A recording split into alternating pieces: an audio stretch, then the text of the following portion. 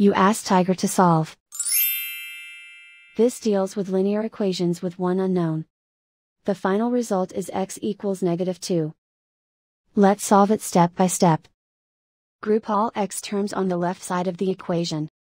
Add 5x to both sides. Simplify the arithmetic. Group like terms. Simplify the arithmetic. Isolate the x. Divide both sides by negative 7. Cancel out the negatives.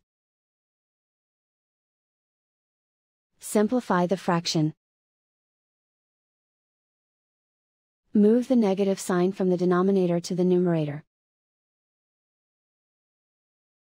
Find the greatest common factor of the numerator and denominator.